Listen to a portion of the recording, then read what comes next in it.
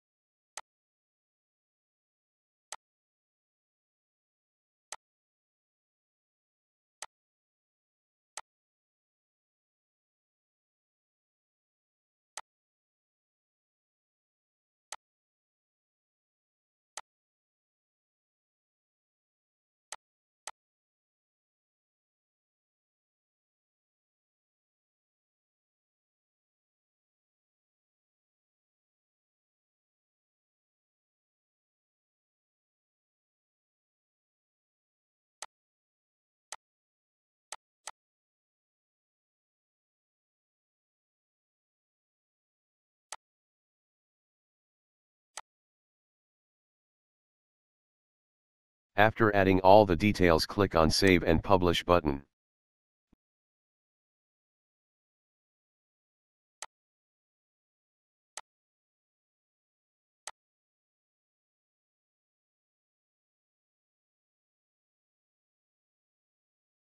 Now you can see our slider is showing in front end.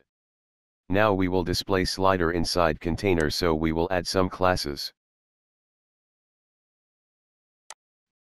Click on Settings icon on row and add page section PTB class and container.